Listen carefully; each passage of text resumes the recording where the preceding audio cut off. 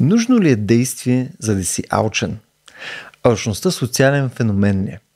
Могат ли организации да са алчни? Не заедно с Стоян Ставро и Валентин Калинов, алчното ни е за ефирно време философско дуо, ще говорим за алчността. Приятно гледане. Стоян е като един а, алчен философ, алчен за знание, алчен за, алчен за повече подкаст епизоди. Как мазаяне. Алчен за колко епизоди да запишеме прямо днеска. Никой, никой друг човек не записва по два епизода един след друг. В смисъл, това е изцяло вследствие, според мен, е на някаква тежка твоя патология, нали, която аз придавам на алчността ти. нали, една ставровизация на желанието. Абсолютно. То е Вярно е. То е една такава негативна естетика на, на Всякъде е негативно. Какво искаш да говорим днес за алчността? Как искаш да го положим това нещо като, като разговор? Защото очевидно вие нали, направихте едно сдвояване заговор, с направи. един заговор, да, с Валио, докато мен ме нямаше и вече имате някаква структура. Ай, сподели тази структура. А, няма, напротив, няма да е то. Какъв заговор ще е това, но да, ти си прав, че е, алчността е нещо, което много сериозно ме тресе. Mm. Е, категорично съм съгласен, но и тебе да тресе, особено през продуктивността и кой ли още не тресе. Така че те не случайно са се смъртни гряха, защото няма бягане от тях, според мен. Всяко живо mm. същество, всяко нещо, което диша, в един или друг момент бива покосено от алчността.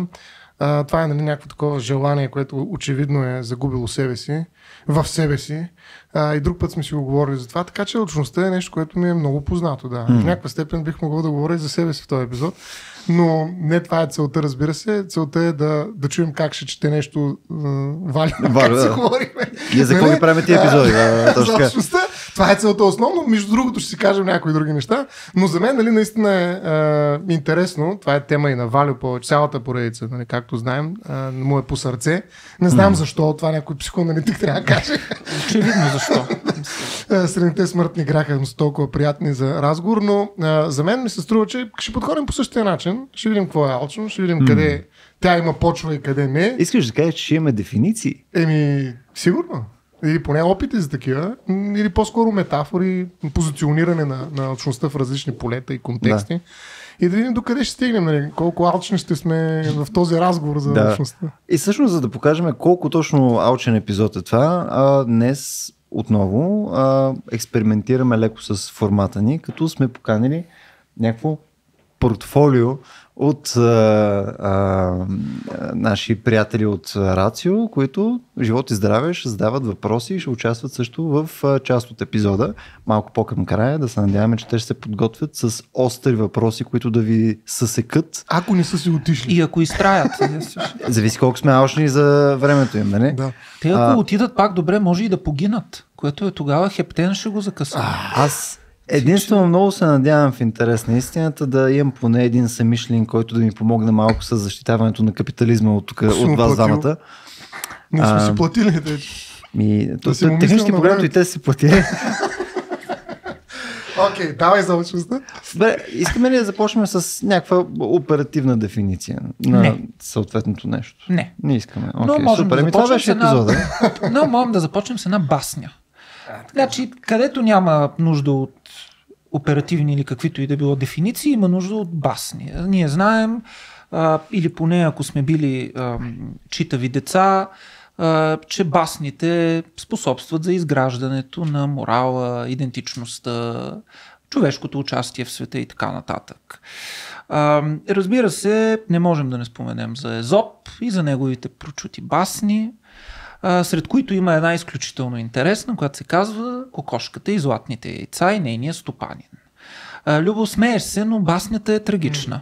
Mm. И след малко трябва да очаквам да ти, зам, да, да ти замръзне усмивката, защото това е една трагична басня. Сега не знам yeah. какво е участието на трагичното в твоя живот и в капитализма изобщо, и но, баснята, но баснята гласи следното. Един човек имал кокошка, която давала златни яйца обаче давала по едно яйце на ден. И човекът, който бил съобразителен и разсъдлив, а, не знам дали е бил менеджер на някаква компания, но е бил определено съобразителен, а, определено съобразителен човек, си помислил следното. Бе, тая кокошка, що му дава всеки ден по едно златно яйце? Дали всъщност тя вътре не ги има готови златните яйца в нея си. И след това, разбира се, след като си задал вече този въпрос, не то когато теоретично достигам до някакви решения, практиката е въпрос на време, въпрос на техника. Той със секса е така, впрочем. И човек какво да направил? Грабнал един нож и заклал кокошката.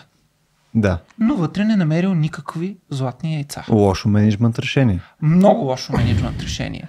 Но а, тази басня, според мен, без да предлага никаква дефиниция, успява да напипа някои от основните характеристики на очността, която действително е един от изключително ужасяващите човешки пороци. Порок, който е достоен да съсипе народ, държава, съвкупност от държави, цивилизация и така нататък. Впрочем, има такива теории за това, че Римската империя погива именно благодарение mm. на очността и на корупцията. Но баснята на Езоп ни казва много добре и ни посочва много добре няколко основни черти.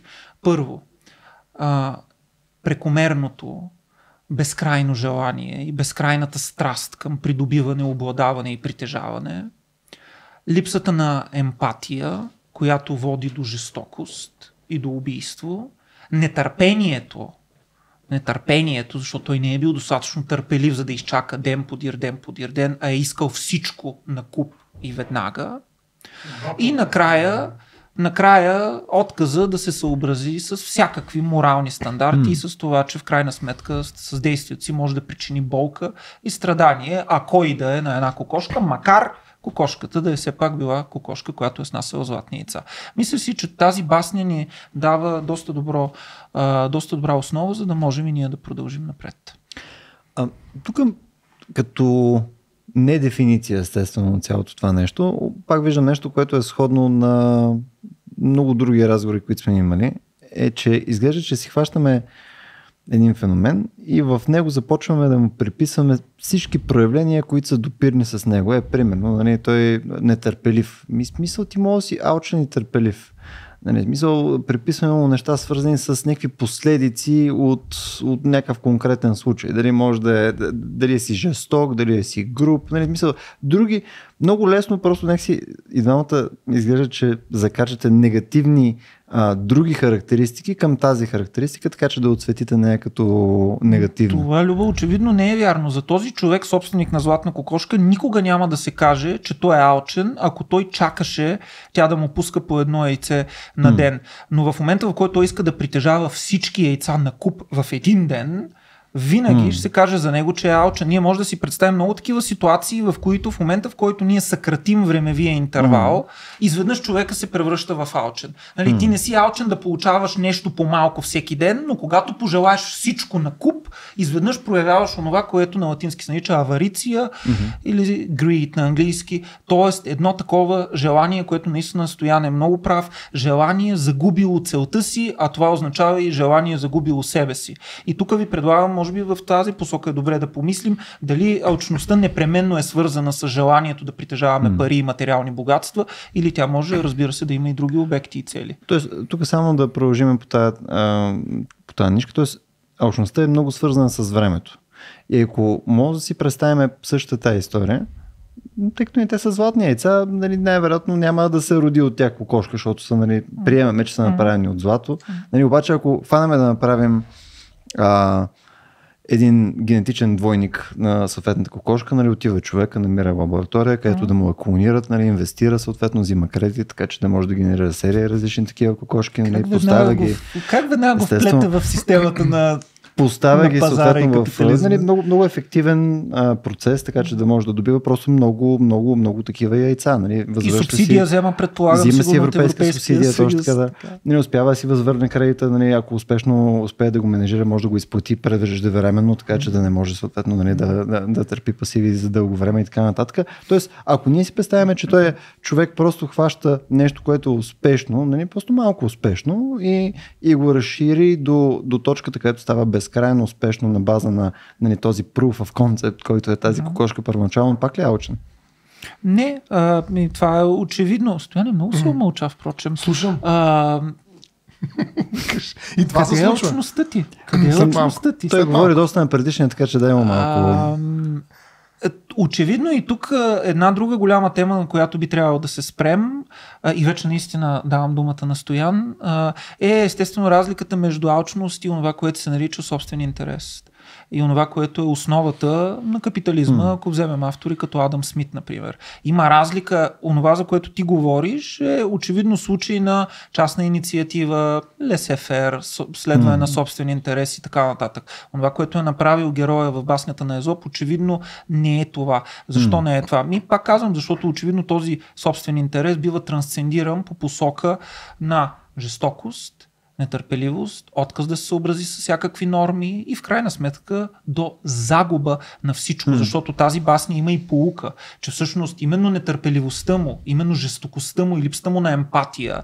а, липсата му на благодарност, това също е много важно и пропуснах да го кажа. Mm. Очевидно човека не е бил благодарен за този дар, който боговете са му дали в лицето на тая кокошка и е поискал всичко на купи едновременно. Цялото това нещо в крайна сметка го води той да загуби онова, което има. Плюс това бих казал, айде да се намеся тук малко. А, че не е толкова определящо времето, колкото ритъма. Mm. Нали, и още едно нещо бих вкарал нуждата. Нали, реално а, малочността нали, чупи, така да се каже, мащаба за мярката, през това, че всъщност тя не отговаря на нуждата до голяма степен.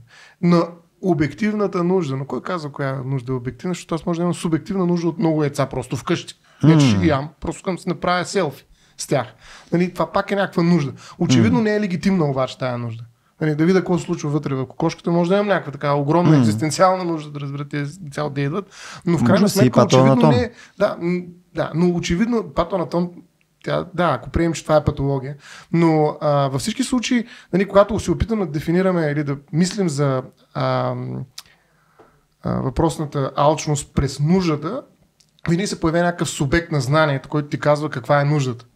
Нали, това мен ме притеснява, честно mm. казвам. Но не времето, според мен е ритъма, който показва ритъма на някаква нужда, която ти вгражда в желанието си и го опитомяваш така, че то да дава спокойно нещата, които ти трябва. Това до някъде, нали, очността, според мен капитализма успява да я владе. Още нали, през нали, етиката на някои протестанти, нали, които се опитват mm. да, да вкарат точно алчността в ритъм, който отговаря на някаква усреднена нужда. Mm на базата на някакви концепции за това от, кой, от какво се нуждае. Все пак, защото там наистина има един субект, който казва каква е нужда и темперира очността, така че тя се превърне в добродетел. Нали, ти mm-hmm. трупаш пари, което е хубаво, после ги влагаш в нещо друго и така нататък. Ти полагаш труд. Да. Облагородяваш нещата, нали, които иначе това желание, което излиза извън себе си и се губи в себе си, реално се превръща в някакъв мотор на бизнес процеси, които се разпознават като нещо, част от добродетелите едва ли не. Така че за мен нали, чупване не е толкова времето, колкото ритъма. Нали, действително и ритъма спрямо нещо, което има някаква нормативност в себе си и тази нормативност идва от някой друг. Тоест някой трябва да каже каква ми е нуждата, която е легитимна и отвъд нея изведнъж всичко е алчност. Така че алчността според мен има един такъв субективен властови компонент, нали, който е манипулиран от съвременното общество до голяма степен. Защото в момента Нали, just do it, всичко направи, изяж две хамбургера, още един 200 и така нататък. Тая нормативност е в, в, в нали, посланието е прави повече, отколкото са нужни. Нали, изобретяват се нови нужди и така нататък. Тоест, заочността очевидно mm. а, се така социализира, рафинира и се пръща в нещо, което може да е добродетел. Това, което ти се опита да направиш, нали, се прави много често във всяко едно отношение. Нали? Mm. Защото са а, примерно 100 квадратни метра площ в къщи, като могат са 150. Нали, mm. Защото са два балкона, като могат са 4. Нали, на единия пък ще сложиш картините, на другия ските. Аз не карам ски, няма значение, ще караш ски. И така нататък. Тоест, идеята е, че наистина можеш да, да работиш с лъчността, така че да я напудриш, mm-hmm. да я гримираш и да я изкараш на сцената като положителен герой, а не mm-hmm. като антагонист в, в стаята. А, нали, така че аз съм съгласен с, с това. Другото, което обаче, но с ритъма, не с времето. Другото, което Валето отговори, аз си отговоря и още един подразличен начин, нали, това, което кажеш ти, това е фюжън между различните пороци. Според mm. мен е нещо съвсем естествено. Нали, това е като ламя с няколко глави. Нали. Реално всички имат някаква, ня, някаква общност и аз много се радвам даже да видя това, тая трансгресия между различните пророци. Нали, защо, да няма, защо да няма общо нетърпението и съучността и с завестта и с много други неща? Нали, това са компоненти, които не трябва да ги изолираме, да ги сегрегираме в някакви определения, било то и оперативни. А е сехтир, както се казва, нали, на чист английски язик. Така че не е нужно да, да, да, да слагам нали, в това определение само някакви неща, които няма ги в другите места. Тоест, те са наистина преплитат. Така че няма проблем ние да дефинираме няколко отделни порока с различни амалгами от различни компоненти, които някои от тях се повтарят. Hmm. Че според мен не е проблем това. Не водим един и същ разговор, просто го водим през различни Тоест, входове. другите неща са свързани продукти на основния ни продукт. Ага. Странични, да. Или, или странични или под, подкрепещи и така. Да, да. Това, което между и двамата казахте за, за желанието, не? защото някакво желание, което е извън контрол, ама рамо желанието ли е нещо, което, което в крайна сметка го обезпечава, защото то самото желание без действие, нали, бихме ли нарекли това нещо пак алчно? В смисъл ти можеш да искаш да убиеш кокошката, ти сънуваш как искаш да убиеш кокошката, нямаш търпение да убиеш кокошката, обаче в крайна сметка не убиеш кокошката, защото си, нали, не, не мога, не мога да, да стигнеш до това действие. Но ти определено го искаш. Тоест, трябва ли желанието да бъде манифестирано с действие, за да мога да кажем, че това вече е порок?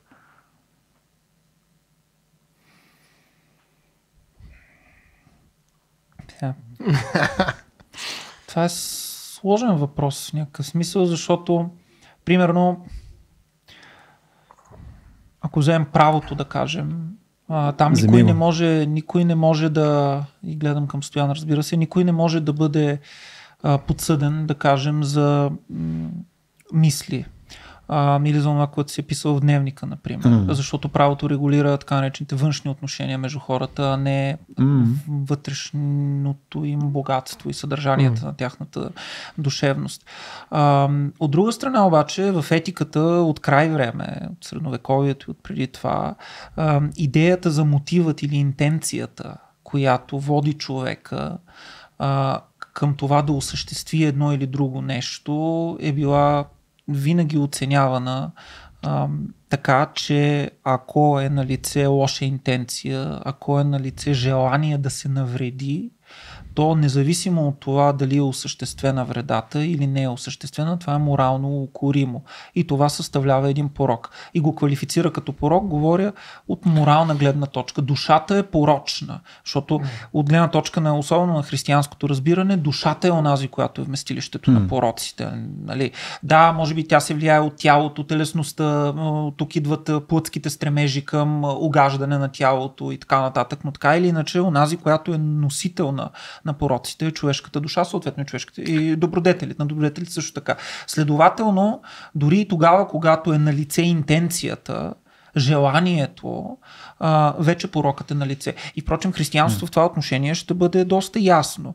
А, самото това да пожелаеш, mm. например, жената на ближния си, осела му и така нататък, е вече престъпване на закона. Защото тук онова, което излиза извън нормата е всъщност не поведението, а желанието. Защото, Любо, ти казваш, добре, да, ако не съм го направил, какво толкова? Ами, какво толкова, но всъщност онова, което води човека е желанието. Онова, което държи човека в света и онова, чрез което човекът е себе си в света и се свързва с себе си и с другите е желанието. Mm. И начина по който той се отнася към своето желание. Така че след като желанието е на лице, действието е въпрос на време. Тоест греховете като част от законодателната рамка на Бог. Ами, сега, дали да, на Бог или на, на религията. Само да, да напомня нещо, което вече сме го говорили. Един от най-ранните трактати върху кодифициращи а, теорията за смъртните грехове е трактата на Евагри и Понтийски, който се, който се нарича За различните зли помисли.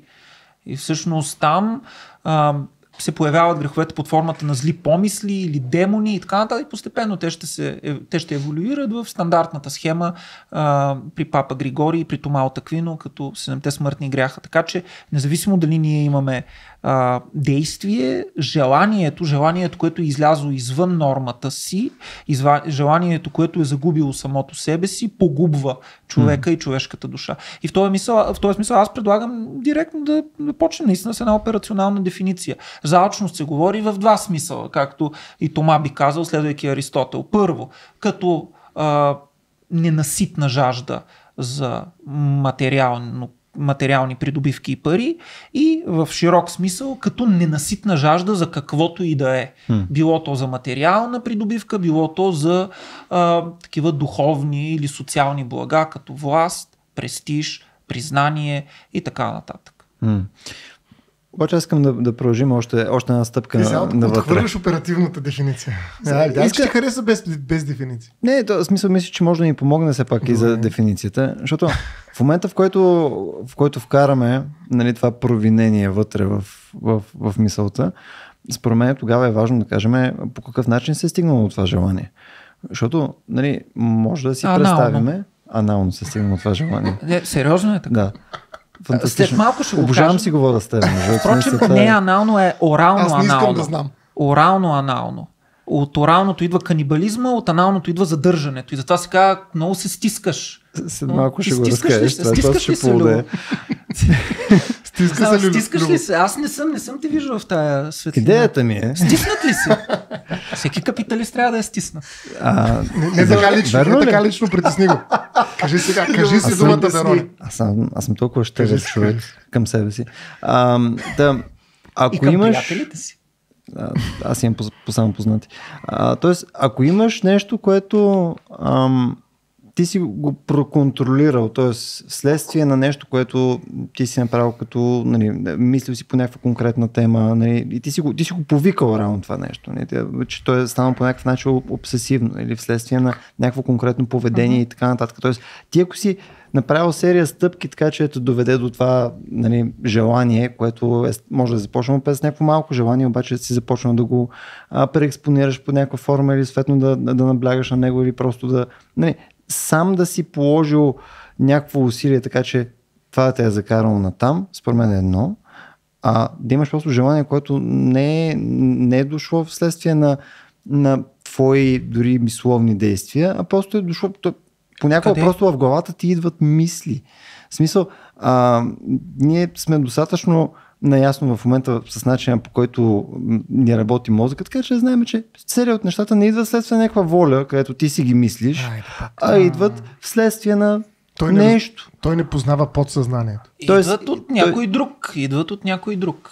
И да, друг човек. вследствие на общество, вследствие на много неща. Смисъл, ти може да си повлиян така, че това нещо да е нещо, което ти желаеш. Да.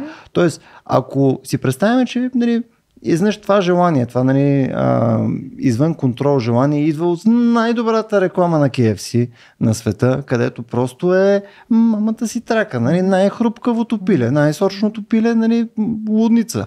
И съответно ти го виждаш това нещо и просто ти текат лиги в мозъка. Нали, просто е пократително. И съответно по какъв начин ти в този, в този случай си провинител. А, да, разбрах ти, разбрах ти въпроса.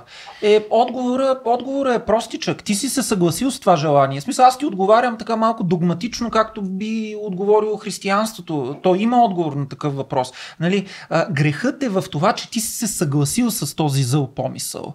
И това ще го твърдят всички, от ранните светилци до ден днешен свещениците, нали, те винаги ще казват, нали, и тези, които пишат в областта на християнската етика и работят, нали, грехът се ражда тогава, когато ние се съгласим с онова. А, самия помисъл, има, те се наричат прилози, е такива, които ти се появяват mm-hmm. в ума, разни глупости, нали, нещо такова, това. Да. Те те изкушават, да убия нали. Да. Те, те ми, примерно, нещо такова. Да. Или, така, а, те ти изкушават. Нали. Това са, да кажем, действията на дявола, както ще така да ги наречем. Но въпросът е, че когато ти започнеш да се, да се вслушваш в това, mm. което те ти говорят. И когато ти не можеш, ти абдикираш и капитулираш и не можеш да се бориш с тях, защото ние знаем от, от апостол Павел насетне, християнският живот е постоянна борба.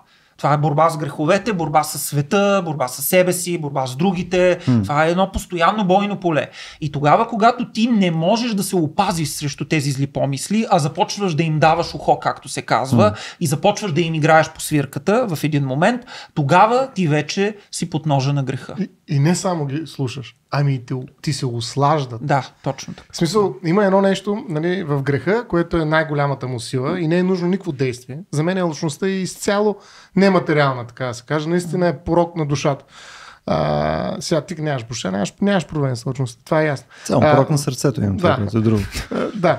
Така че не се притеснявай за себе си. А, Въпросът е друг, че всъщност в един момент това изкушение, освен че те обладава, нали, което е първата фаза, бих казал, на, на, на, това, на това гниене, нали, което някакъв начин може като метафора да пресъздаде случващото се в, и във волята, защото и волята ти гние, наистина ти си прав. Когато се отдадеш на порока, в един момент, както на, сме говорили на лакомията, ти просто не можеш да спреш. Искаш да спре, искам, бия с шамари, но не мога. Смисъл, това е положението. Нали, но, но, но преди това, когато си съгласил, е случило още нещо, едно голямо събитие. На теб ти е станало хубаво. Нали? А, а това нещо, като mm. нали, се продава в момента. Нали? Ето той е KFC, за който говориш, който и да е някаква. Те, те, те, това те обещават че вземи си го това, ще стане много хубаво и твой мозък са лигави. Ма на някой душата му пък нали, гние. Така че в този смисъл, за мен наистина порока се случва включително и алчността изцяло в менталния свят. Нали, Тоест, когато поискаш и кажеш, да, това е много хубаво и ще го направя. Дали ще го направиш дори, това вече е последици, бих казал. Нали, да, правото може би ще държи отговорен, ако изобщо те държи, защото за алчност, да, има престъпление от алчност, но, но да, те са някакъв, някакъв мотив, който ще бъде релевиран някъде. Но, но трябва да направиш някакво действие за правото. Но ние говорим за правото, тук не говорим за морал и най-вече за религията, където са греховете, нали, имат някакво значение. Защото за правото минава... греховете няма значение. Тоест минава през удоволствие. Така ли? Мисля, ако Услаждане. Услаждане. Услаждане. Да, т.е. трябва да е нещо, което изличаш. Аз, аз го обобщавам с някакво удоволствие. Нещо, което, нали, следствие на твоето желание. Насладата е по-първична. Окей, okay, ти, ти имаш наслада от нещото, което е обещано и заради това нещо ти е, си аучен. Ти вече го преживяваш. Това е пожелаването на жената и не може, на ближния. Не може тогава да е негативно, така ли? Не може да, е, не може да имаш аучност вследствие на нещо, което е някаква негативна емоция. Не може да си аучен за това да измрат е. всички хора от първен етнос. То, ня- някой смята, не, че... това не би било. Това, защо това да е алчност? Може да е омраза, да, зломислие да. и нещо такова. Mm-hmm. Алчността винаги е свързана с придобиване. А ти можеш да си убиваш прямо по, по един човек на ден, обаче нали, не ти стига да си убиваш по един на ден. И, Искаш да убиеш всичките за един ден. И, добре, да. Това е нетърпение. Това е нетърпение, зломислие, злоба, някакси да. други, друга сякаш е квалификацията в този случай. Алчността mm-hmm. е свързана с желание за придобиване на някакви неща. Mm. А, и дори не толкова за желание за консумиране, защото това може да мине по-лесно, ако говорим в случая с KFC-то, може да мине, разбира се, под рубриката на лакомията да, и така нататък, да. докато в учността имаме желание за придобиване. И сега аз да. ще кажа и по този начин ще завъртя нещата. Това желание за придобиване е винаги в собствен интерес и то винаги радикално скъсва връзката между субекта и общността. Защото това, което желаеш да придобиеш, за да има алчност, за да има алчност, имаме желание да се награби общото или да се награби част от общото и да се завлече, да се засмуче в собствената бездна, в бездната на субекта. А, винаги имаме, и това е характеристика на очността, за разлика от, да кажем, лакомията, леността, дори и гордостта, алчността е такъв порок и такъв смъртен грях, която носи в самата себе си дълбок разлом на политическото. Другата такава, а, другия такъв грях е гнева, когато той прераства в а, насилие, война, агресия и така нататък. Но ние за нева вече говорихме, а очността е също такъв порок, който е дълбоко политически в своя смисъл.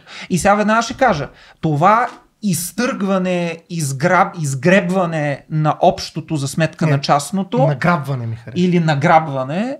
А, има една точно определена дума Стоян преди малко я спомена, като каза метафората за гниенето. Разбира се, това е думата корупция.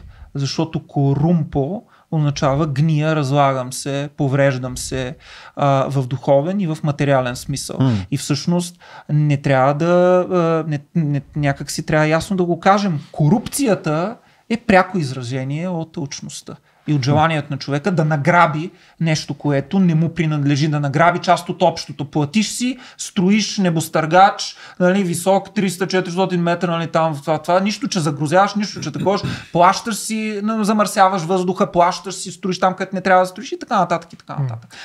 Тоест, алчността работи само в социален контекст. Mm. Пример. Нали, Стоян Ставро го изпращаме на самото на остров живот и здраве, но той няма достъп до, до някаква форма на общество и така нататък. Той може ли вследствие на своите желания, нали, мисловни или вследствие на действия и така нататък, той може и да е алчен? Факт е, сякаш по-скоро не може. Аз... Може да е, що, може, може, може, да, може да е лаком, може да е похотлив, само в автоеретичния смисъл на думата. Аз мога всичко. а, може да е горделив. Хайде кажи, как си, ами, как си Защо? Ако това по някакъв начин чупи нещо на самия остров, което по някакъв начин а, се разпределя а, ритмично в моя живот. А, нали, Тоест е възможно. При нас мога да изям целият остров за един ден. Може да нали? ограби ресурсите Или, да, на острова. Точно по някакъв така, начин баланс. И да навреди значи... на, точно така, прав си, да навреди на екосистемата, а, да така. кажем. Значи да. това е екосистемност. Не е нужно да е социална, но ако има някаква система, в която има различни компоненти, които се балансират помежду си, един от тях, който излиза извън така да се каже, нормата, извън а, баланса, mm. би могъл, ако засили този процес, да се превърне в нещо. И все пак трябва да има душа, нали? Той, mm. той е компонент. Защото иначе не бих казал, да. че едно прасе е алчно. Нали? Смисъл, това да, няма аз смисъл. бях на острова, нямаше как да стане. Да, ти тук да. няма. няма. Да си, както вече го уточнихме това. Но, но ти питаше за някаква негативна емоция дали има. Някой mm-hmm. смята, че в основата на общността стои някаква празнота. Сега не знам дали е анална, но а, идеята е, че а, а, човек, и това най-алчното право е вечното право. Нещо, което на мен ми е По така, най-присъдце. Да, нали, да. За притежаването. Да притежаваш там алчността е а, нали, много добре, така как да кажа, описана юридически в правни норми, строфи. А, така че в този смисъл а, нали, нещото, което правиш е да запълваш някаква празнина, която очевидно не е материална. Аз придобивам все повече квадратни метри, обаче дупката в мен не се павира. Нали, тя продължава mm. да бъде нали, една огромна черна mm. уста, която всичко взима. Тоест аз продължавам да имам нужда от още. И павета. означава, че да, да, сега имам и жълти всякакви павета. Имам нужда, но въпросът е, че тази нужда, която ти казах в началото, че може да бъде темперирана от някакъв така власт субект, който казва каква е нормата на нуждата, uh-huh. всъщност тя може да обаче да бъде и компрометирана от факта, че аз наистина имам някаква специфична нужда. И тя е реална. Тя може да е патологична и някой психоаналитик може да я обясни откъде идва анална, но, но или нещо друго. Сега шегувам се, наистина трябва да го обясни, защото така подхвърлено а, стана като виц, ама не е виц. Да. Нали? Така че не, може много ми хареса как стана, да го... Висящо. Не, трябва да го обясни. Психоанализата всичко е виц, както знаем. Е, ще го обясни след малко, но да, някаква празнина нали, има, която подхранва този процес на, на как да кажа, на, на взривяване на нуждата и оттам взривяване на желание. Mm-hmm. Но наистина, кажи какво имаш предвид, за да не остане така като... Да, окей. Okay. Сега вече казано малко по-сериозно. Uh, действително, uh, в началото са лайната. Значи, преди парите са лайната. И впрочем, парите са превърната форма на лайната. В смисъл, когато пипаме. Затова, защо се казва, забележете двете метафори. Първо, парите са най-мръсното нещо. инсулт в момента. Парите са най-мръсното нещо на света. Това майка ти не ти ли го е казвала, като си бил по-малък? Нямахме пари. Ако имаш... Така, а, вие не сте, се, вие не сте, не сте имали тези проблеми. Той ще го казва на децата. А, но на децата си ти така, парите са най-мръсното нещо и винаги като пипаш пари трябва да си миеш ръцете. И разбира се, пекуния на Нолет, думите на Веспасиян, когато грабнал една, грабнал една шепа сестерци и ги хвърлил в, в лицето на сина си Тит, когато последния го укорил, че е наложил данък дори и върху туалетните в Римската империя. Нали? Какво значение има? Парите не миришат. Ето ти ги иди си купи а, нещо с тях. А, така че преди парите са лайната. Сега, а, преди лайната обаче е устата. Разбира се, за да се стигне до, до лайната, трябва устата да играе, а, трябва тя да си каже своето. А, всъщност за какво говоря? Говоря за стадиите на психосексуалното развитие. Ние влизаме в този свят като малки парчета месо, извадени от отробите на своите майки, постепенно ни въвеждат в света, въвеждат ни в езика, постепенно ние откриваме самите себе си, откриваме другите и така нататък. Ние се развиваме по някакъв начин. Човешкото желание, както Фройд показва, се развива от а, ерогенната зона на устата, през ерогенната зона на ануса и последната завършваща ерогенна зона е фалическия стадий, гениталната, където се осъществява това, което е завършената сексуалност при човека. Разказвам го доста простовато, даже и вулгаризирано, но за да се хване основната линия.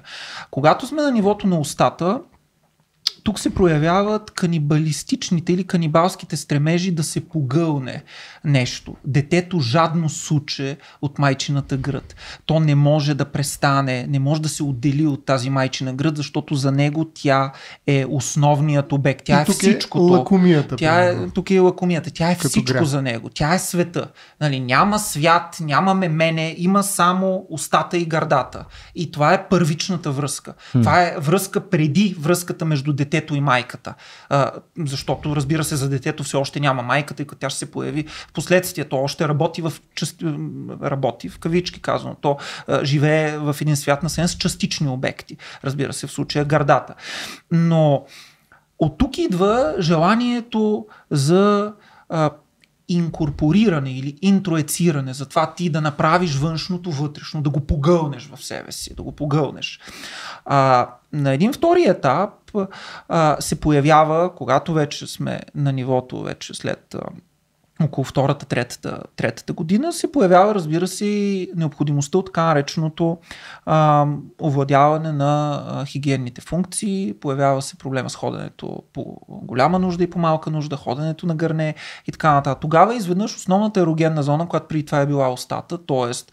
цялото удоволствие желание, наслаждение а, и живота като такъв минават през устата и съответно през ерогенната зона на устата.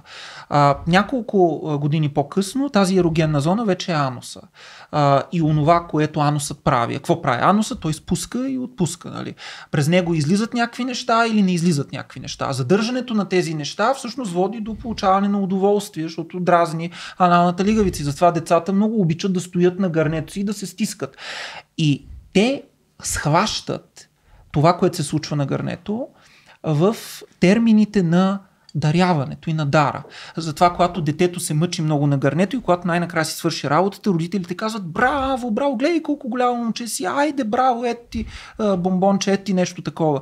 И детето започва, несъзнавано разбира се, равнище, да го говорим в полет на несъзнаваното, започва да прави тази връзка между даряването и екскремента.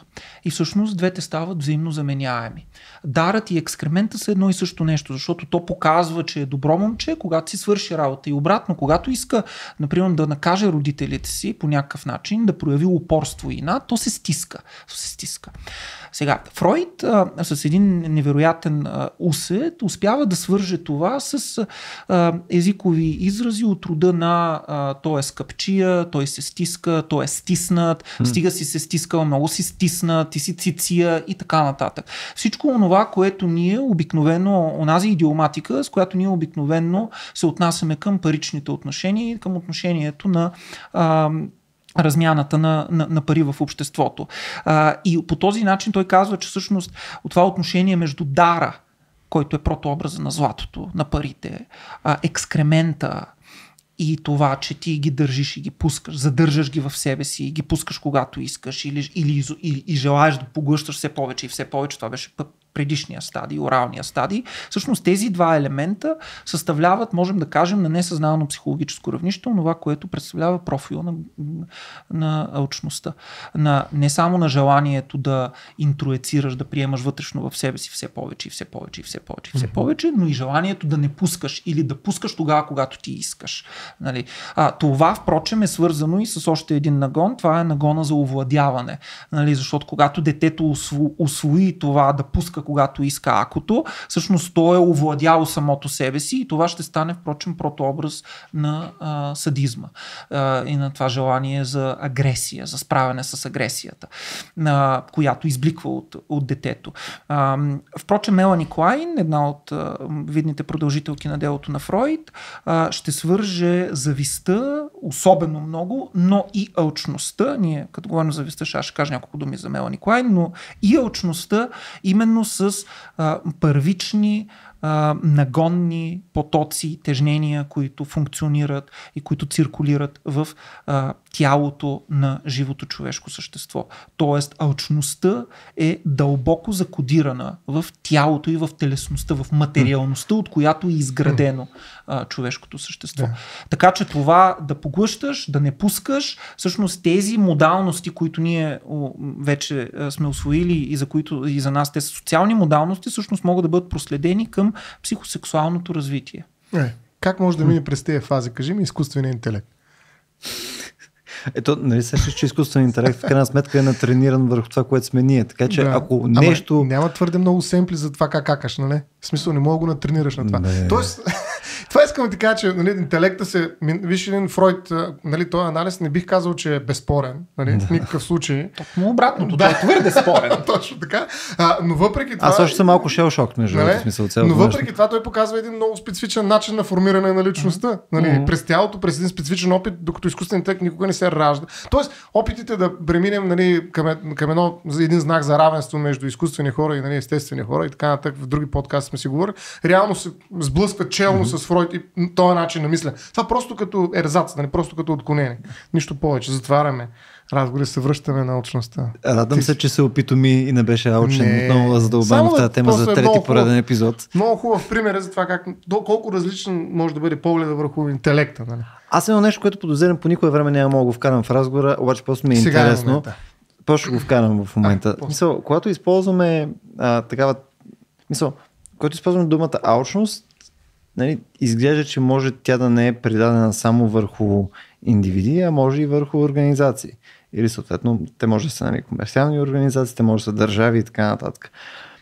Това по начин, по който го описахме в момента, не е ли нонсенс? В смисъл, ако е нещо, което не е удохотворено, не то може да е може в него да има серия различни субекти, нали, които съответно сами по себе си са аучни и съответно тяхното намерение да, е, да повлиява върху организацията, но самата организация няма как да е аучна. ВКС произнесе ли се по въпроса дали юридическите лица Може могат да, текат морални да, могат да текат попитаха, или още го разглеждат? Не, попитаха Европейския съюз и сега ага. в момента има и тълкователно дело ага. образуваха. Изключително... Образуваха, но не, не е излязло не, нищо. Не, нищо не е Казвам така, защото всъщност това, което ти задаваш като въпрос е също за което става дума. Mm. Нали? Може ли mm. юридическите лица да тълпят морални вреди? Може ли юридическите лица, в случая компании, mm. транснационални корпорации и така нататък, да бъдат алчни? Нали, тривиалният, mm. тривиалният отговор е не могат. Мисъл, може техния борт, да кажем, на директори, mm. който се състои от човешки тела и така нататък. Сега как, дали Стояне, да. специалистът може да поясни, ще изчакаме да видим решението. Не, до сега има, бъде... има, има случаи, в които са mm. само, че репутационни вреди, както mm. и такива вреди от това, че не могат да участват справедливо системата. Има, mm. има обосноваване на морални вреди mm. при юридическите лица. Не е проблем, макар че те еволюират в едно по-общо понятие не имуществени вреди. Само, и говорят, даже се говори за морален патримониум на юридически лица. Така че това е една друга тема, mm. Но, но да, всъщност. И свързайки, да може би да. не, не да, съвсем. Да, не просто ще се отклоним. Иначе за мен научността няма как да работи при юридически лица. Изобщо те не са същества, които имат душа, нали? т.е. не могат да имат грях. Нали, те може да имат някакви механизми, които ще щупят някакви баланси, нали, примерно. Това са монополите, нали, срещу mm. което има законодателство. Нали, те просто не, не знаят кога да спрат да растат. Нали, mm. да спрат, нали, наистина да кажат, абе, чакай се разделим, нали. Няма мърч, малко и нали, разделяне.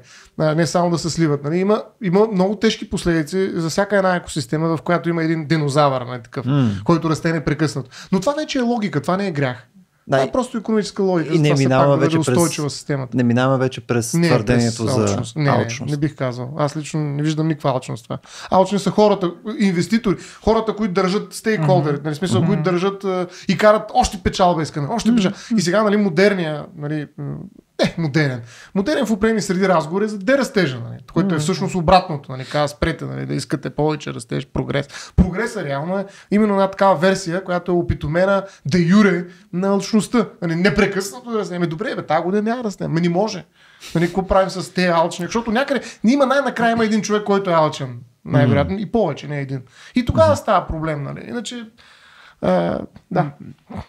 Аз, когато казах преди малко, че очността е много политическа и много социална, го завъртях към корупцията, която безспорно е, ние знаем, много добре. Невероятно, не, невероятен проблем. проблем, невероятен ужасяващ проблем. А, всъщност корупцията, когато се говори за корупция, винаги се говори за духовни. Това е, това е духовно. Между другото, много често се прави тази грешка. Да, примерно се казва, това е а, имплементиране на пазарни механизми в сфери, които не са пазарни и така нататък. Но всъщност по-чистото казване а, и дефиниране е, че всъщност тук имаме търговия с неща, с които не може да се търгува. А, имаме покупко-продажба, имаме пазарни отношения които са тотално неприемливи а, като приложени към определени ценности, които не могат и не подлежат на, не подлежат на никаква, никаква търговия. Казвайки това, аз искам да завъртя разговора за очността и по отношение на това, че тя е била повод исторически за едно от най-големите исторически събития в западния свят, именно реформацията. Защото в посланието към Тимотей, Светия апостол Павел казва, че сребролюбието е корена на всеки грях. На латински това звучи авариция радикс омниум малорум. Естествено. Когато защо го казвам на латински? Защото когато вземем... Защото всички разбират. Radix, Omnium, Malorum, Авариция, S, то глагол може да се пропусне, се появява акронимът Рома, т.е. Рим. А, Лутер и изобщо бащите на реформацията ще използват това а, като, така се каже, знаме на а, своят опит да реформират а, църквата който в крайна сметка ще доведе до радикално скъсване с западния католицизъм. И така ще се роди протестанството, включително и протестантската етика. Една от основ, едно от основните обвинения на Лутер е срещу индулгенциите и срещу симонията. Всъщност симонията, да напомним на нашите слушатели и зрители, е онази също ужасяваща практика, която ни казва, че която носи името си от Симон Влъхва, за когото се разказва в Деянията на апостолите, който предложил на апостолите пари, за да придобие даровете на Светия Дух. Значи, симонията е корупция, пренесена в сферата на духовното и на отношението с, Духовна с Бога. корупция. Духовна корупция. Тя всяка корупция е духовна, но тук не става дума пар за, за тази за християнската духовност. Но а, идеята, че ти можеш да опрощаваш грехове, Впрочем, нещо, което руския патриарх Кирил направи по отношение на руските войници, които нали, загиват в тази свещена война, която според свещена, Руската православна църква водят. Свещена специална операция. Свещена специална операция, пардон, точно така, свещена специална операция. Та той също нали, им каза, че който а, падне за родината, в случая ще му бъдат опростени греховете, което е абсолютно пълен скандал, естествено. Но та така да е, Лутер преди повече от, повече от, по, от половин век глупости говоря, повече от половин, при 500 години повече, нали, атакува католическата църква именно по логиката, по, по линията на това, че всъщност тя продава нещо, което не може да бъде продадено. И така се ражда протестантството. Mm. От алчността на Оригиналните капиталисти. Тогавашния, тогавашната римска курия. Да, и между другото, ако едно време алчността е била към а, пари, нали, както и тогава трябва да се трупат богатства и към земи, защото политиката, това, което казва, винаги се сеща за територии. И там си алчен да стане. Нали, и Рим, какво? Още една още една провинция, mm. още една провинция, още една провинция. И то в един момент тя вече може да се управлява тази провинция. Нали? То, Те къде е свършиха провинциите. Не, нали? а, не са свършили, бе. Винаги е имало още.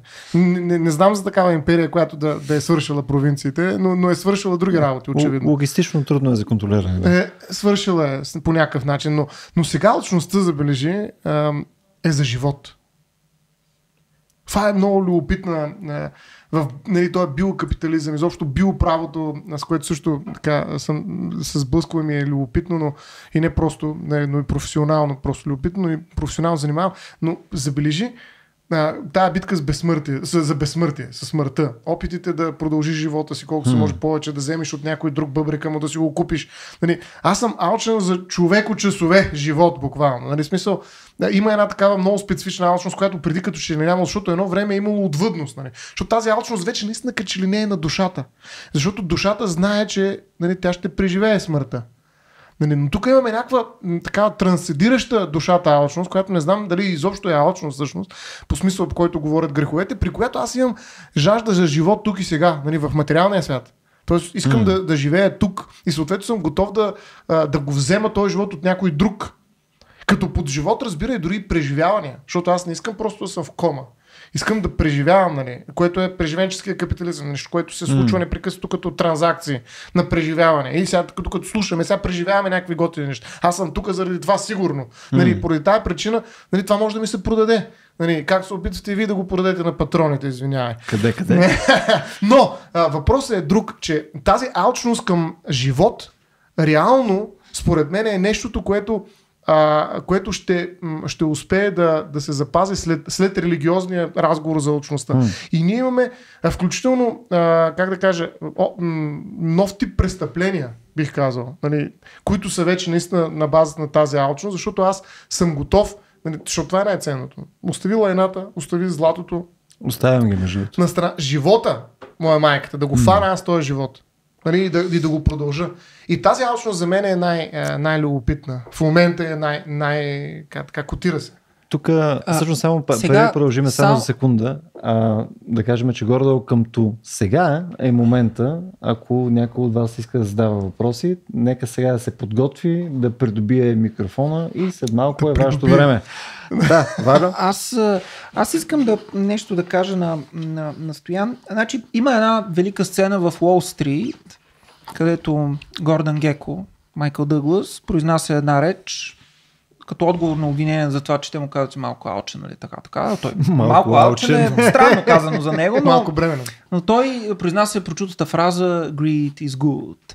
И след това следва едно така описание на това как всъщност Америка е станала а, велика, изкуството, литературата, културата, а, всички тези неща всъщност са станали такива каквито са в следствие на различни борби, mm. които са били водени от човешката страст да се придобият някакви неща. А, аз не съм толкова убеден, а, че това е така, макар че а, разбирам тази логика, която за мен е логика на едно желание, което е не непременно алчно желание, в смисъл в който ние коментираме сега. И Казвайки това, искам да, да адресирам това, което Стоян ни каза преди малко с въпроса дали все пак не трябва да направим разлика между това, което покрай Ницше и така нататък можем да наречем воля за Живо, мощ. Власт, да. То е власт, но всъщност истината да. е воля за мощ или воля за живот онзи тласък и жизнен порив, който в някакъв смисъл описва всичко живо съществуващо. Това е борбата за оцелееш, mm-hmm. да, над, да, да надмогнеш себе си, да се запазиш. Спиноза ще каже, че този конатос, този стремеж е, на живото да постоянства характеризира живото. Той, според Спиноза, характеризира всичко в света, впрочем, не само живото.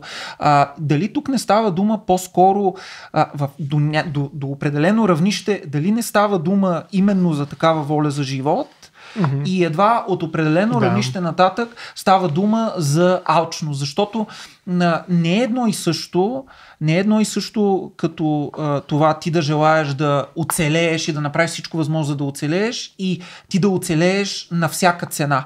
Особено... А, особено и за чужда сметка. И за чужда сметка. Особено а, да препратим към а, случаите с а, разкритите незаконни трансплантации само преди 2-3-4 години нали, в една известна столична болница, а, които бяха достатъчно скандални. Нали, изобщо покрай трансплантациите този дискурс винаги може да се поддържа за това, че всъщност как се трансплантира, защо се трансплантира, а, как така се трансплантират на, на донори, които изместват изведнъж някакси другите и така нататък и така нататък. Mm-hmm. Тоест, това е сериозен въпрос. И това е различен, обаче казвам, от въпроса от това просто от желанието ти и да така оцелееш. Е, така е. Нали? Има граници. Им, има, има някакви Има въпроси.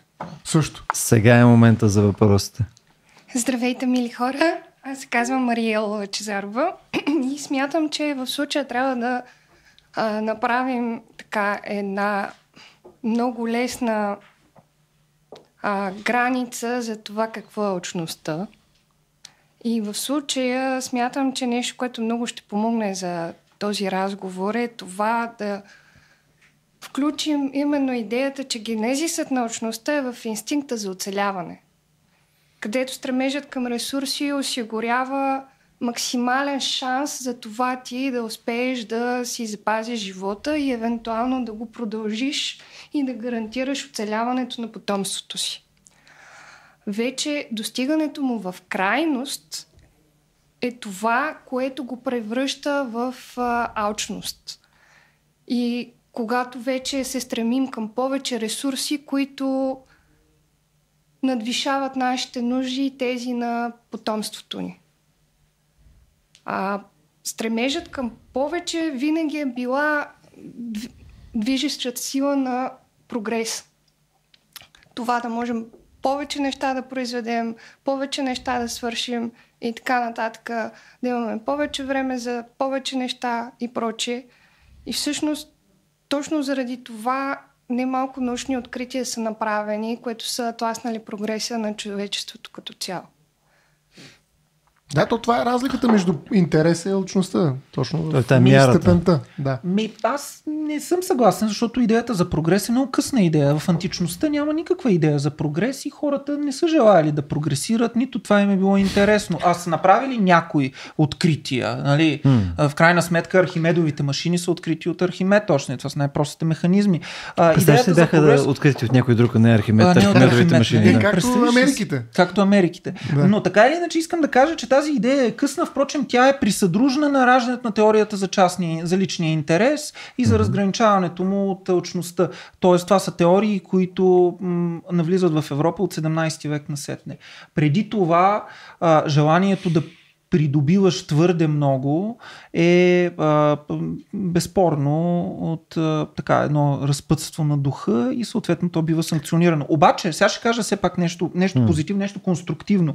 Има нещо конструктивно, но ми се струва, то е по-скоро трябва да се търси по линията на любопитството, а, на желанието за знание. Защото всъщност онова, което стои в основата на новоевропейската техника е любопитството на човека от новото време. Любопитство, което е качествено различно и е свързано и с утвърждаването на неговата собствена личност, мястото му в света и така нататък, от ам, любопитството на средновековния човек и на античния човек.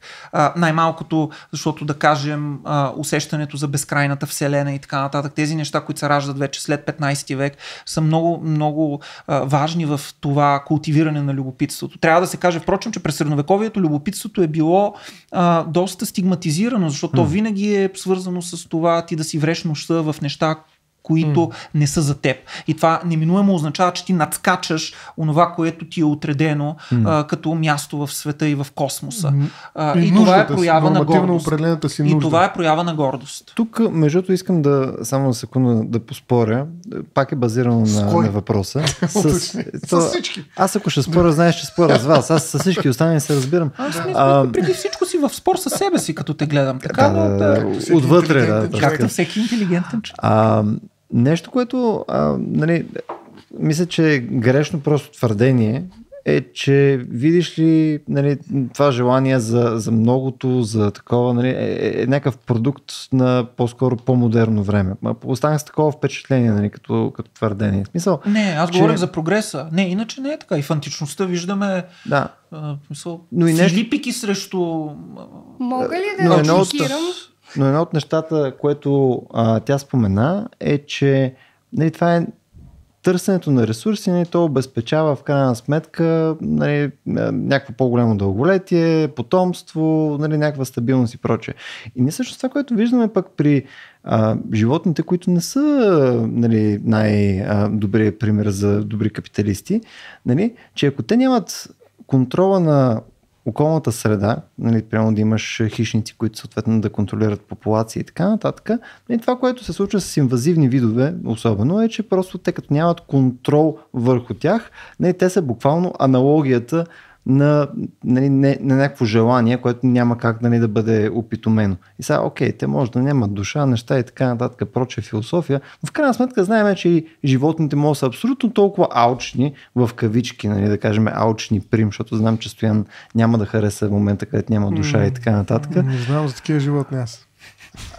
Какви? Си Алчни. видял още такива Да, алчни не животни. съм. Еми, ние го дефинираме като нещо, което нали, също накърнява околната среда. Нали? Е, ти, примерно, е като друго. беше, ти като беше нали, на острова, където те заточихме успешно за известно време, Ама аз съм алчния. е, ти си алчния, ти съответно си прецакал баланса, който се случва там. Това абсолютно могат да го правят и животните без никакъв проблем. И съответно по някое време баланса ще се получи, след като нали, се сринат популациите, случи се някакъв ужас, нали, минат маса години, така че се стигне отново до някакво равновесие на дадената това не е екониша. алчност. Съгласен съм, Да, но, това е но друго. ефекта, който нали, виждаме, мисля, ако, Да. ако минаваме през този разговор за ресурси, в крайна сметка знаем, че се случва при животните абсолютно също нещо. Аз, но тук няма да влизам в детайли, защото може би е крайно време да направим а, подкаст за желанието, защото ние се докосваме до него периферно. Няма да влизам в детайли, но големият проблем е, че желанието по принцип е безкрайно, защото то няма обект. Значи, поне това е моята индоктринация и това е, това е моята идеология. А, желанието няма обект. Желанието е безкрайно. То никога не може да бъде заситено. Може да бъде заситено това, което се нарича нужда, може да бъде заситено това, което се нарича искане, но желанието не може, защото то просто е самата липса. То е самата издълбаност на битието, а, която нищо никога, никъде, под никаква форма не може да запълни. Да го запълни не, но да го пресече. Смъртта. И за това желанието е живота. Да, да. го пресече. Точно да. обратното стояние. Мисля, желанието носи в себе си, желанието носи в себе си идеята за това, че смъртта е навсякъде, защото нищо не може да го запълни. Защото има дупка, има която да не може да бъде. Не може да бъде. За съжаление. Да го пресече в смисъл да го прекрати. Да прекрати, да. Мисля, не като да супа да я пресечеш. Не, мисъл, не, да. по друг начин. Това е излизане от, да, излизане от играта. Окей, okay, ама е. даде, но, но самото желание не може да бъде от нищо да. запълнено. И в този смисъл винаги въпросът е как в крайното човешко същество през него тече едно безкрайно желание. Mm. И алчността се появява като момент от историческото развитие на това снаждане и конфигуриране на крайното и безкрайното. Не знам кога и къде се появява, или мога да го мисля, но въпросът е, че съм сигурен, че лъчността се появява като момент от историческото конфигуриране на крайно mm. и безкрайно. Обеден съм в това. Човешкото желание е безкрайно и незаситимо, то няма обект. Няма обект. Абсурдно е да се каже, аз желая тази жена, така, така, така и така. Няма такова нещо. Аз желая това и това и това. Няма такова нещо. Това са временни, ситуативни иллюзии, в които ние си представяме, че те ще задоволят нашето желание. Mm. И всъщност и поради тая причина има други фактори, като любовта, например, които трябва да се появят, за да може жената да остане същата. Защото всъщност тя е едно празно място, тя е на празна позиция. И затова, за да остане тази жена на тази празна позиция, трябва да има някакви стяги, които трябва да дойдат от другаде. Но от самото желание те не могат да дойдат. То е незаситимо, базисно и безкрайно. То е стихия, която тече през нас, която е един тласък, който нищо не може да укрути. И виждате, Точността казано, казано така, то е, то е долепено до очността. Хм. Ануса на Спри. На просто, просто спри. Кой друг има желание да се включи? А при това положение може ли да се каже, че има алчно за всичко? Вие в началото започнахте по този въпрос, че не е задължително да е за пари или за нещо такова. Може да е за знания, може да е за добродетели. И тогава грях ли е една алчност, която е насочена към добродетелите? Алчност към добродетели. Еми, искам да бъда перфектен. Да. Еми, алчност е. Алчност. Защото няма такива хора да са перфектни. Това това не е но, но няма е... нужда, да. Това е по-скоро и гордо си. Тук вече може би се изкривява по някакъв начин. Не, това може да бъде и добродетел. Алчно за знание. Това може да бъде добродетел. Това може да бъде добродетелта на ревността, на рвението. Не ревност да ревнуваш, а, а да си ревностен, да си, а, да си усърден. Това е това, което може да се нарече дилигенция, индустрия. Нали? И от, прочим, оттам ще дойде и частния интерес. Нали? Личния да, интерес. Но това вече не е алчност. Но това не е алчност. Това да. не е алчност. Мисъл, а, когато кажеш алчност, винаги тук имаме безредно действие, което винаги е насочено към тленни, тварни, преходни неща, желание да, да ги придобиеш, да ги засмучеш в себе си, да ги изядеш, да се нагълташ с тях, да не ги пуснеш, Тоест да не, не може, ги споделиш с другите. Не може да е алчност за преживяване. Не, може, може. Да. Преживяването е материално. В крайна сметка, нима преживяването е нещо по-различно от активация на определени центрове в мозъка, вентралния тегментум и така нататък. Нали? Mm. Какво е удоволственото преживяване? Нали? То е такова, в крайна сметка, mm. в биохимичната си основа. Бърз въпрос, бърз отговор. В смисъл, Създай интересно ми. Е. Да. Вашето мнение. За мен е повечето, дори пороците според мен могат да бъдат количествени или качествени. Тоест, има го, няма го, няма средна стойност или пък могат да бъдат устойностени по някаква скалата. Лъчността какъв тип порок е, нали? Количествен mm-hmm. или качествен според вас? Хм. Стоян Ставро. Аз ли? Добре. А, защото вие да мислите, докато аз кажа някакви глупости, след това срещате най-добрия отговор. Да ти натукаме нали? Аз правя някакви опити такива, да посрещна първата Говори на Езуста. Да. А, ами според мен е прагов. Тоест, очевидно, над определен праг винаги си алчен. Вече колко си алчен, а, дали има по-малко алчни или повече алчни, това като че ли няма такова значение, според мен. Със сигурност има хора, които могат да бъдат подредени иерархично на базата на някакъв количествен критерий нали, по своята алчност, но според мен самия грях по-скоро е качествен. Тоест в един момент просто ставаш алчен. Или ако успееш да пребореш алчността, нали, излизаш от тази категория. Така че по-скоро така ми изглежда. Нали.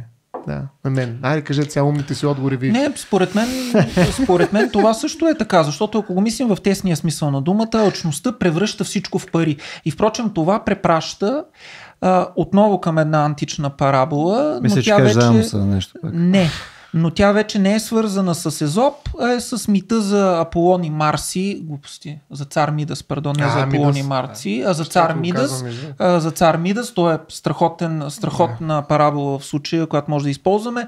Нали, Мидас пожелава всичко, до което се докосне, да се превръща в злато. А, и съответно, знаем как свършил, не добре.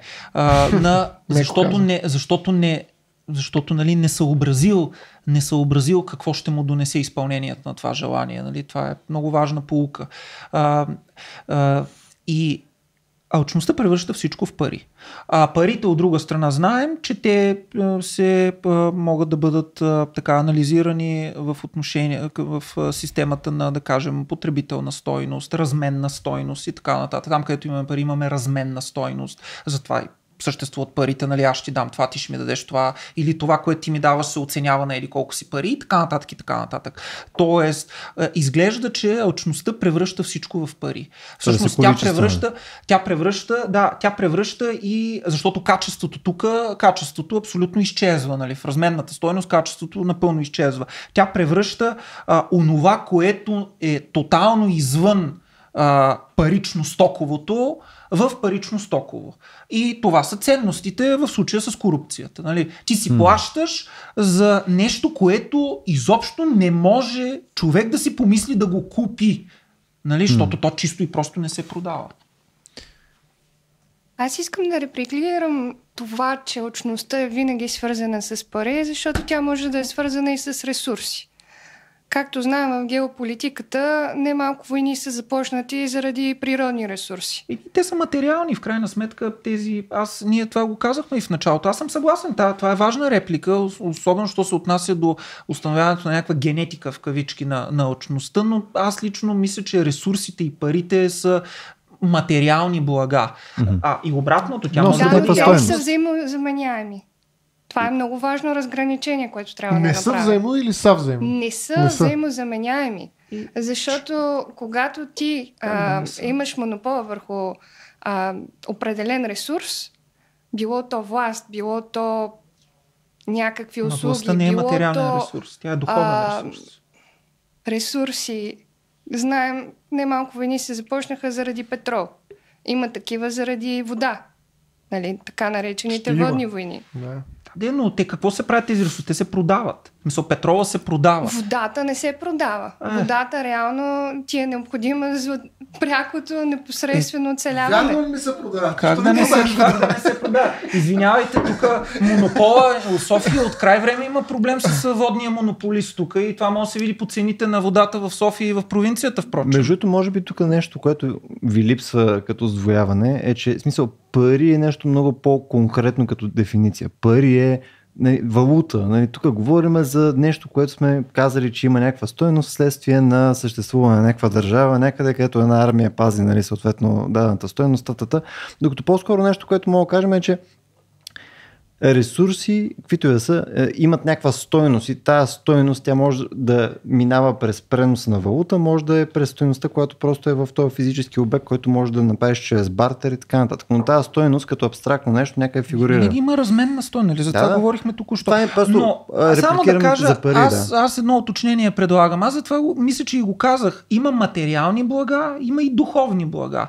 Алчността може да е алчност за власт, за признание и в този случай имаме нещо духовно.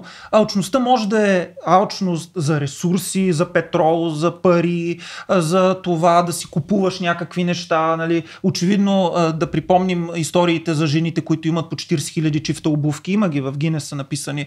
Нали, или има по 12 000 рокли. Нали, кога една жена би могла да облече 12 000? Не съм сигурен. Може би и да може. Жените са изобретателни и съвършени същества а, в това отношение и тяхното желание е съвършено желание, но все пак 12 000 рокли, Айде се, 12 000, то е друго, пардон, Няма да е запълниш тази дупка. то не е съвършено, то е друго, Край, както приключи. Лакан ще каже, то е, Може те са да друга говорим наслада. и за мъжката алчност, която между другото фигурира в една от най-популярните религии в момента обещанието за множество девици. Да. Да, а, впрочем, говоренето за ресурси Харема, да речем, като алчност. Говоренето за ресурси всъщност преплащ, препраща, ако разгледаме от еволюционна а, историческа гледна точка, към нали, войните Ама- между мъжете, които разпределят ресурсите и така нататък. Но- Окей? Но, но според мен алчността в мъжки род, знаеш какво е? Поход. и това вече е всъщност нещо, за което си говорим друг път, нали? Походта. Да. Друг порок. Аз исках само да попитам, извинявай, исках само да попитам, като си говорихме, че има една граница, след която вече ставаш алчен, Може би, да. може би. Къде би била тази граница? А, Това е най-сложният въпрос. да. Да. Е, това Мога ли е. аз да се опитам да отговоря? Да. Би било толкова хубаво, ако някой има отговор на въпрос. Ами, моето опита. предложение за отговор в случая е алчността започва от там, докъдето, откъдето нуждата вече е задоволена. Да. Ама в какъв времеви интервал? Защото аз мога да я задоволя за днеска, но както, както казахте, нали, е хубаво да имаме запас. Нали, не случайно има такива специални помещения, складове, които в момента разцъфват, като гъби растат нали, насякъде, нали, където аз слагам нещо за бели, нали, за черни дни.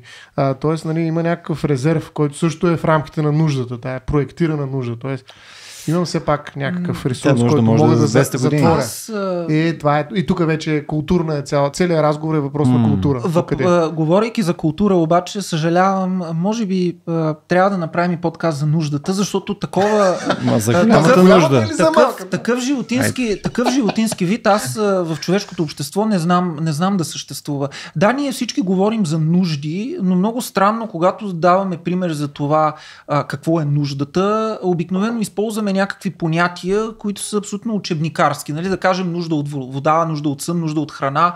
Но истината е, че когато артикулираме нашите нужди, ние никога не ги артикулираме в толкова общи понятия. Напротив, ние постоянно ги артикулираме в всевъзможни преференции. По отношение на храната и хранителните вкусове, например. Ти можеш да задоволиш предполагаемата своя нужда по множество различни начини. Може с торта Павлова, може с а, 100 грама бадеми, може с, с лазания и така нататък, с, може с една ябълка, може с ако си слънцеят, с слънцето уж да я за- задоволиш. Тоест, искам да кажа, че в Особено всички тези случаи, във всички тези случаи говорим за желания, т.е. за нужди, които са прекарани през езика. М. И това е много важно. Аз мисля, че животните имат нужда, да, но човека има желания. Това са нужди, казвам го упростено и вулгарно, това са нужди, които са прекарани през езика, това означава нужди, които са прекарани през символичното, през социалното, през връзката на човека с другия човек. И нека да хванем един последен въпрос, с който да завършим цялото нещо. Съответно, изискването към този въпрос е най-високото до момента. А, добре, аз искам да попитам по-отделно Валю и Ставро един и същи въпрос. А именно, могат ли да си представят свят без алчност? И как би изглеждал той? Изобщо възможен ли е? Би ли бил по-добър от този, в който живеем в момента? Пак ли аз съм с първия тъп отговор? Стоян Ставро. Ами, ако говорим за човешки свят, не. Ако говорим за нечовешки свят, а, нали, той е описан. Рая. Единствено там, може би, а, няма да има алчност, така че за мен а, пороците не са нещо, което трябва да бъде изкоренено. Това не е вирус, който да убием. Нали, някакси да се освободим. Нали, три вакцини и готово. Реално алчността е нали, някакси двигател на човешкостта. Не само той, не само тя. Е, Всички пороци, за които си говорим, са неща, които се случват а, в нас, в душата, телата ни, в живота ни, така че без тях ние няма да бъдем същите реално. И идеята е, че нали, начина по който ние работим с тази своя вътрешна уязвимост, нали, буквално а, така, как да кажа, взривоопасност на тялото, нали, която всеки един момент може да, да изригне и аз да загубя волята си в един или друг порок. Нали, начинът по който работя с това всеки ден, всеки час, а, е начинът по който бивам себе си. Тоест, за мен, нали, без това ние няма да имаме свят. Свят без залчност, реално за мен не е свят, който бих могъл да живее по начина, по който познавам да живее. Иначе, да, описан е такъв свят и това е рая. Да. Аз бих казал така. Нищо добро не идва от никой от смъртните грехове, но изглежда, че самото човешко е заложено на карта, когато става дума за смъртните грехове. Аз също смятам, че ние не можем да се изтръгнем от тях по никакъв начин. А, също разглеждам тяхното съществуване като едно драматична, като една драматична опасност и предизвикателство пред човека. Това не означава, че аз ги оценявам положително, а, означава, че по-скоро си давам сметка, че а, всяко наше усилие, всяко наше действие, всяка наша фантазия, всеки наш план, всеки наш проект а, по някакъв начин а, е под сянката на греха. А, това е така, защото самите ние сме под сянката на нашите тела, все още. А, а когато ние сме под сянката на тези тела, това означава, че ние във всеки един момент имаме постоянно вземане-даване със смъртта. Всъщност тези грехове са смъртни, защото те убиват и унищожават душата, защото те са непростими според да кажем някои християнски доктрини, защото те в крайна сметка избликват от това ужасяващо а, нещо, което се нарича човешкото тяло, което е една съвкупност от болка и от наслада, а, която е съвкупност от радост и от тъга, от сълзи, от смях, а, от плач, а, но което за добро или за лошо а, конституира човешкия свят. А, в този смисъл раят ще бъде а, нещо, за което е казано, че ще случи под ново небе и на нова земя и око не е видяло какво е там, ухо не е чуло и човеко на сърце не е дошло какво ще бъде там и тогава. А, онова, което ние имаме тук обаче като предизвикателство и като, пак ще кажа, едно постоянно усилие и борба на човека с самия себе си, защото действително наистина човекът е създаден по Божи образ, подобен и така нататък, за да се бори с себе си и да мисли в себе си, е а, и нашето предизвикателство да бъдем такива каквито и разбира се да прогресираме в най-добрия смисъл на думата. А, и в този смисъл м- говоренето за смъртните грехове е абсолютно необходимо, както и борбата с тях.